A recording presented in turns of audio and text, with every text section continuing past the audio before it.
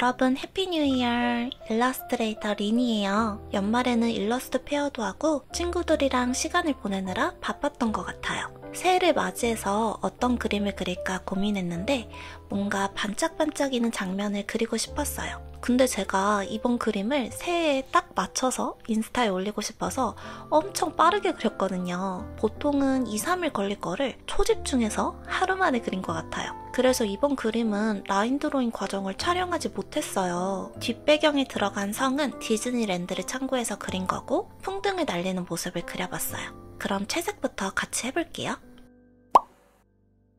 이번 그림은 오랜만에 제가 좋아하는 보라보라한 톤으로 채워볼 예정이에요. 일단 배경을 보라색으로 지정해두면 거기에 맞춰서 채색하게 되더라고요. 그래서 소녀의 피부색도 약간 더 붉은 톤의 컬러를 선택했어요. 복슬복슬한 상의도 보라색 계열로 설정했고요.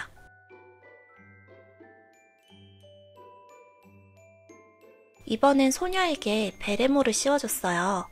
제가 베레모를 써보고 싶은데 안 어울릴 것 같아서 한 번도 못 써봤거든요. 그림으로 대신 만족해 볼게요.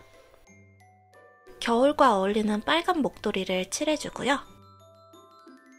목도리에 체크 무늬도 넣으려고 했는데 깜빡했어요. 머리카락도 한 올 한 올 정리하면서 그려줄게요. 이제 배경에 있는 성의 외벽을 채색할 건데 먼저 외곽 테두리를 깔끔하게 정리하면서 채워볼게요. 아 이거 하는데 너무 번거로웠어요. 처음엔 뒤에 성이 좀 멀리 있으니까 라인 드로잉은 하지 않고 면으로만 그려볼까 생각했는데 또 제 성격상 그걸 용납하지 못해서 결국 라인도 그린 거였거든요. 채색도 라인에 맞춰서 하려니까 더 번거롭더라고요. 어두운 블루 계열로 성의 첨탑도 채워줄게요. 중간중간 작은 창문이나 디테일도 어둡게 채워주고요. 외벽 컬러를 조정할게요. 제가 여기서 고생을 좀 했어요. 처음부터 좀 욕심내서 외벽을 여러 색으로 구분하면서 칠했는데 나중에 계속 컬러를 조절하고 그러다 보니까 결국 성 외벽이 전체적으로 비슷한 색이 됐더라고요. 아마 완성작을 본 사람은 제가 그냥 한 가지 컬러로 색칠한 줄 알 거예요.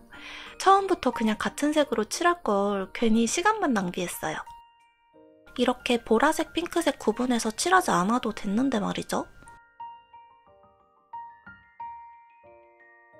알파 채널 잠금을 사용해서 창문을 더 어둡게 칠해줄게요. 이제 풍등을 모두 채워줄게요. 약간 더 핑크빛으로 컬러를 조정해보고요. 그림 전체의 기본 컬러를 칠해놨으니까 배경색도 좀 더 마음에 들게 조정해보고요.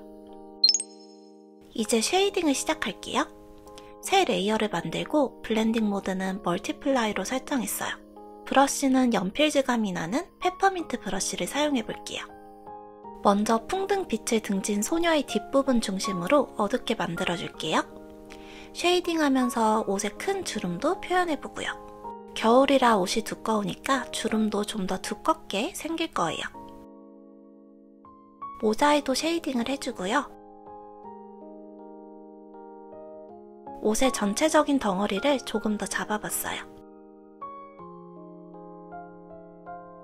브러쉬 사이즈를 줄여서 다운 머리의 굴곡에 맞춰 shading 할게요. 머릿결도 조금씩 표현해주고요. 성의 첨탑에도 입체감을 주기 위해서 아래와 안쪽 위주로 조금씩 shading 해줬어요. 아주 급하고 빠르게 그리고 있어요.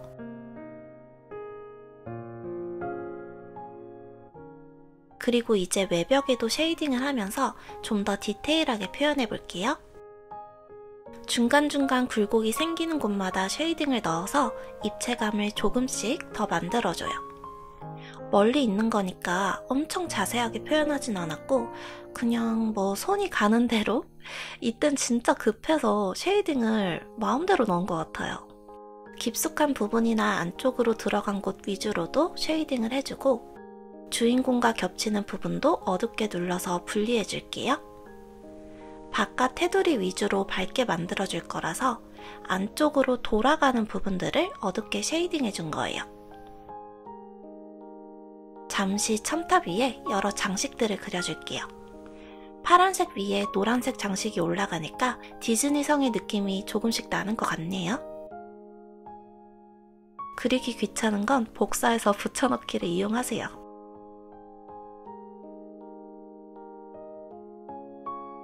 풍등에도 어두운 부분을 만들어줄게요. 풍등에 빛이 환하게 퍼지긴 하지만 불이 붙은 심지가 가장 밝아지면서 풍등에도 마찬가지로 살짝 더 어두운 부분이 생기거든요. 붉은 계열과 보랏빛을 이용해서 어둡게 만들어줬어요. 어두운 부분이 생기면 오히려 나중에 빛을 넣었을 때 더 강조될 수도 있고요. 부드러운 브러쉬로 shading 해주고 smudge tool로 경계선을 풀어줘요. 드디어 빛을 넣는 시간이에요. 보기만 해도 갑자기 밝아지는 기분이에요. layer의 blending mode는 overlay로 설정했고요. 레몬색과 에어브러쉬를 사용해서 빛을 표현할게요. 일단 풍등에 불이 아래쪽에 붙으니까 아래 위주로 밝게 만들어주고 가장 메인이 되는 풍등은 외곽에도 빛을 넣어서 강조해주고요. 다시 새 layer를 추가하고 blending mode는 add로 설정했어요. 불을 그려줄게요. 아이 재밌어. 겉면에도 좀 더 밝은 부분을 강조해주고요. 외곽도 한 번 더 정리해줄게요. 이건 습관이에요, 습관. 멀리 보이는 풍등에도 불빛을 넣어줘요. 이제 주인공에 비치는 빛을 표현할게요. 핑크빛으로 외곽과 옷 주름을 따라서 빛을 연하게 넣어줬어요.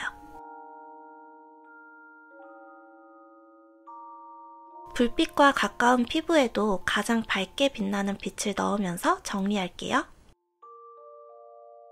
얇은 브러쉬를 사용해서 머리카락도 표현하고요. 이렇게 머리카락을 밝게 몇 가닥 그려주면 더 사실적으로 보여요. 약간 어두워 보여서 전체적으로 핑크빛을 살짝 덧입혔어요. 이제 뒤에 성에도 반짝이는 부분을 만들어줄게요. 아까 shading 했을 때와 반대로 이제 바깥쪽 위주로 빛을 넣으면서 멀리서 봤을 때 성의 외곽이 더 잘 보이도록 만들어줄게요. 이 빛의 방향을 어떻게 설정하는지는 꼭 저처럼 해야 하는 건 아니고요. 그리는 사람 마음이에요.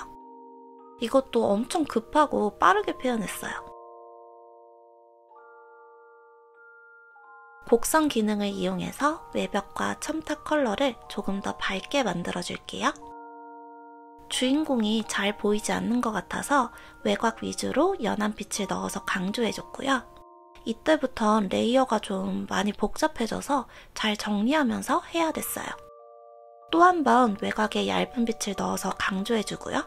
전 언제쯤 이 무한반복의 틀에서 벗어날 수 있을까요? 이제 하늘에 더 작은 풍등을 그려줄게요. 빈 공간마다 여러 사이즈의 점 형식으로 그려줄게요. 성 가운데서 퍼지는 불꽃도 그릴 건데요. 이거 그릴 때, 음, 이 불꽃에 풍등이 터져버리지 않을까? 생각하면서 그렸는데, 뭐, 그리면선 불가능도 가능이 되는 거니까 그냥 그렸어요. 불꽃은 사진을 보면서 Procreate에 있는 여러 가지 빛 브러쉬를 사용하면서 그렸고요. 워낙 이것저것 브러쉬를 다 눌러봐서 정확히 어떤 브러쉬를 사용했는지는 기억이 잘 안 나네요. 중심에 가장 밝은 빛을 표현하고 방사형으로 퍼지는 불꽃을 표현해요. 블룸 기능을 사용해서 빛을 더 반짝이게 조절해보고요. 전후 차이를 비교해가면서 그리면 음, 더 쾌감이 생겨요.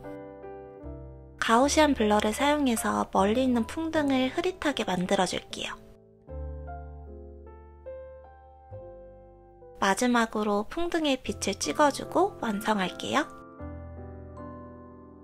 이렇게 해서 올해를 시작하는 첫 그림을 완성했어요. 신비롭고 예쁜 그리고 희망이 가득한 그림을 그리고 싶었고요.